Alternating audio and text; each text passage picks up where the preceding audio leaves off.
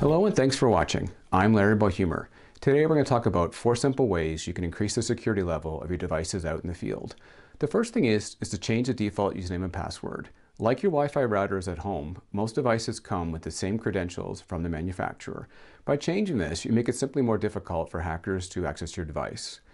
The second thing is, is to always use a good quality VPN for all data being sent to and from your device. By doing this, you simply make it too difficult for the hackers to bother with, and they'll move on to something else.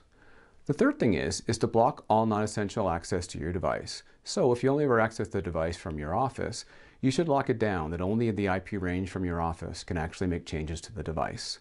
The last thing is, is to prevent non-IoT usage of the device. I know it's tempting sometimes to sneak on and see the latest Instagram updates, but the reality is that's too much of a security hole for your company.